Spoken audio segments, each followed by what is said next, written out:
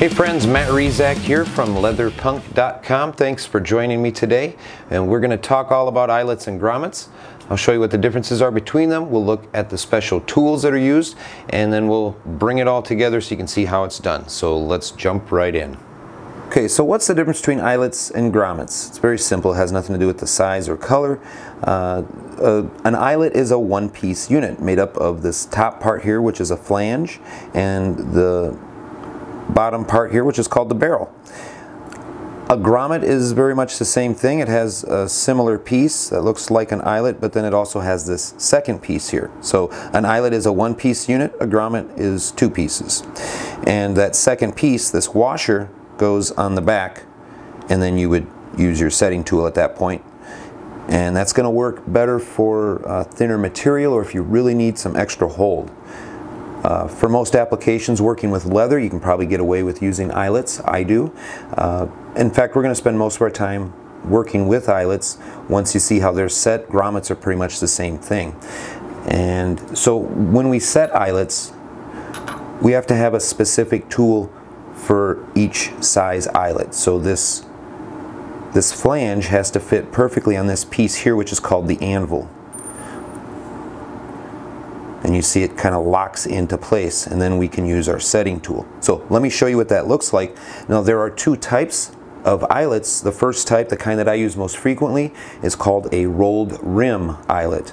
And so the barrel sort of rolls down.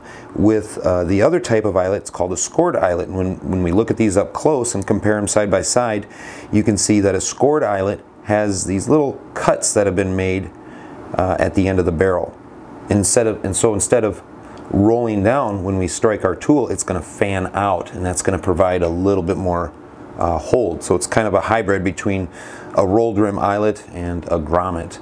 So let me show you what that looks like. Uh, we're going to take a piece of scrap leather here and I'll put one of the rolled rim eyelets in the holes that I've pre-punched. And then this is the scored eyelet here on this side and you notice when we turn around the leather like this, you can move it around, it doesn't fall out. You want that hole to be just big enough to fit the barrel. Okay?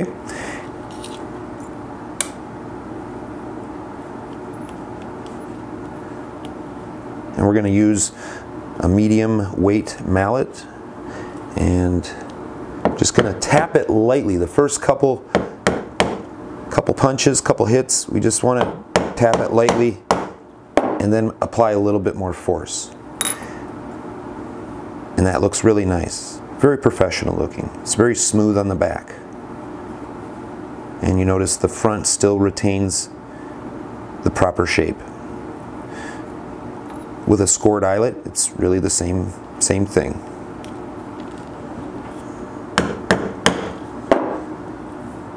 And see the difference?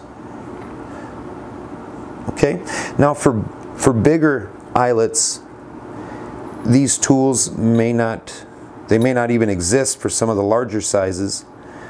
So let me show you what uh, the next step up is. Uh, this is a more precision tool for setting larger uh, eyelets. Now this is supposed to be mounted on a machine. I don't have such a machine. So what I did, because we have to be able to set this anvil down, I can't just balance it like that. So I took a piece of 2x4, brought to you by Leatherpunk, and I put a hole in there just the right size for the anvil. So now I have a place to work when I'm setting these larger eyelets. And the larger eyelets, you can see that fits in there nicely. And it's really the same thing. So take a piece of leather, put it in there, set it down make sure it's locked into place. Okay.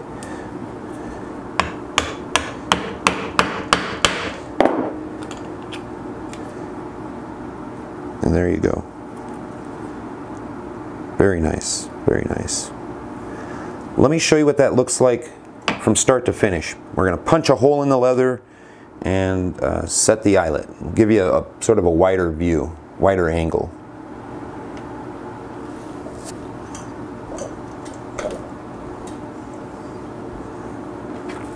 Okay, so I need to punch a hole. I'm gonna take a hole, hole punch that's matched up to the right size. Just give it a good hit. Okay.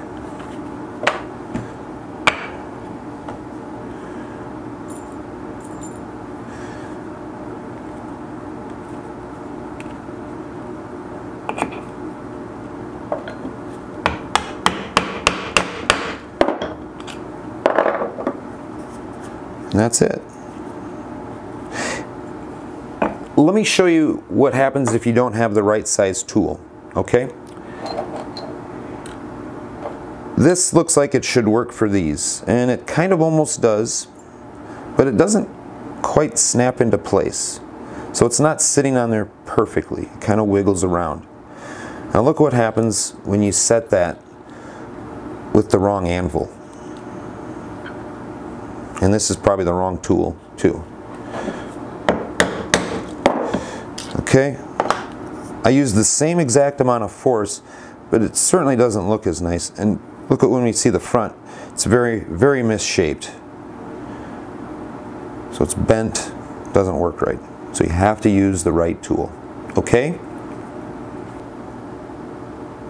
All right, well that's it for eyelets and grommets. I'm Matt Rezac. See you next time.